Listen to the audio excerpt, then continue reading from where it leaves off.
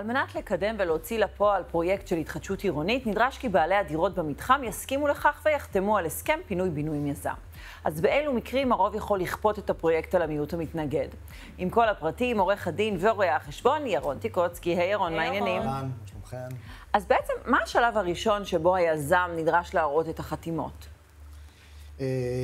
למעשה, יש אה, אה, מספר שלבים ש, שיזם פוגש בצורך להראות אה, אה, רוב. אגב, בעניין הזה גם יש איזשהו אה, אה, בלבול מסוים. בסופו של דבר, דרך אגב, צריך לזכור, כן? בסופו של דבר, כל יזם צריך שיחתמו לו 100% מבעלי הדירות. זאת אומרת, מתישהו... גם אם יהיה חסר בעל דירה אחת, זה יפגוש אותו והוא יצטרך לטפל בזה. אבל הוא יכול להגיש, זה, זה, כן, זה, להתקדם זה ולהגיש... זמן. יכול להתקדם. יכול, יכול להתקדם. אגב, השלב שבו הוא יצטרך באמת בסוף להראות שכולם חתמו, זה השלב של ממש לפני הפינוי של הליווי הבנקאי. אי אפשר יהיה להסדיר ליווי בנקאי שאותו צריך בשביל לתת ערבויות כן. לבעלי הדירות המתפנים. אבל בינתיים כן במקביל- כולם. אז זה השלב אבל האחרון, זה אבל השלב השלב האחרון, הראשון... ושם גם הרוב הוא לא רוב, הוא הכל, כן? השלב הראשון הוא השלב שבו הוא בעצם מגיש תוכנית לוועדה אה, לתכנון ובנייה. ושם הוא נדרש להראות הסכמה של 60% מבעלי הדירות, כאשר אין דרישה ספציפית לגבי איך ה-60% האלה אה, מתחלקים. מתחלקים. צריך להבין משהו.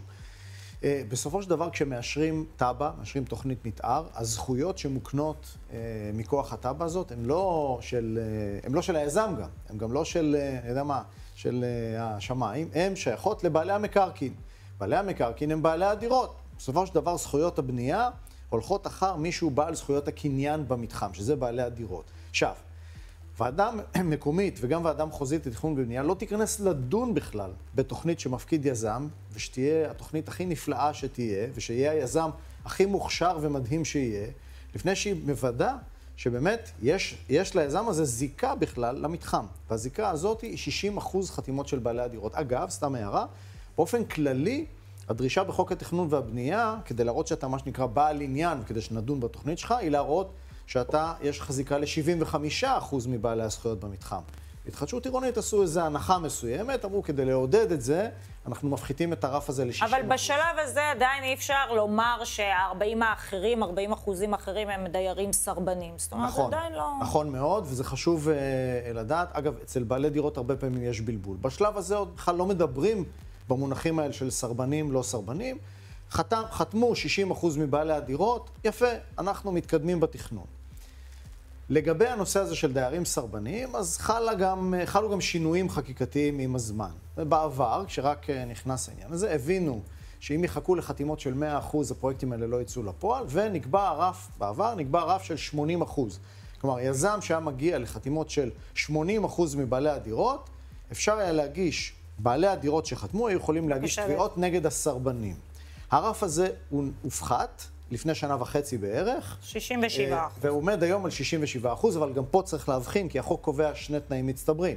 האחד הוא ה-67 אחוז המפורסמים, אבל השני הוא, מעבר לרוב המתחמי של 67 אחוז, נדרש גם רוב בנייני. כלומר, ה-67 אחוז האלה צריכים להיות מפוזרים כך שלפחות בין ה- 60 אחוז בכל כן. בניין.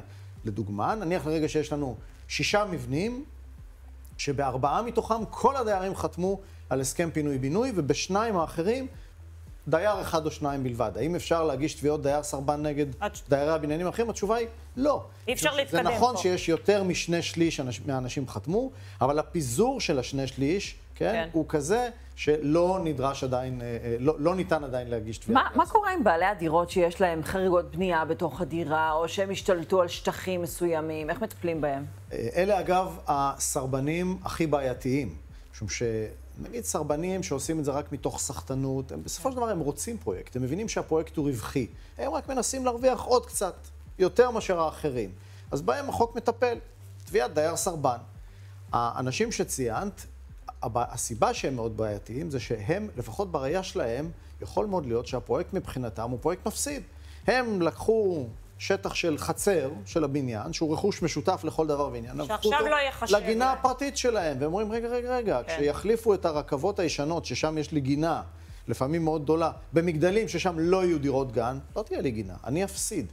נגד אלה צריך לנהל הליך. אבל לא גם סתם. על זה כבר ניתנה איזושהי נכון, תשובה. ו... נכון. הבעיה העיקרית נובעת מזה שבמצב שיש ריבוי של כאלה, הם יכולים להיות המכשלה אפילו כן. להגיע לאותם 67 אחוז. ולכן ניתנה, ניתן אה, כלי חדש, גם זה בערך לפני שנה וחצי, שבא ואומר, אפשר לפנות לבית משפט, ושבית משפט יכריז על האנשים האלה כעל עבריינים, או משתלטים על רכוש משותף, ובמקרה כזה מנטרלים אותם בכלל מהספירה. זאת אומרת, לא סופרים את הדירות האלה במכנה ולא במונה, וכל החישוב שלה, אם הגענו ל-67 או לא הגענו, נעשה תוך כבר ניטרול לא הדירות יכולים האלה. אה, לפגוע יפה. ולעשות. ודקה אחרי חשוב. שמכריזים עליהם כעבריינים, אפשר להגיש תביעות דייר סרבן. תודה תודה רבה. רבה. תודה רבה על הדברים.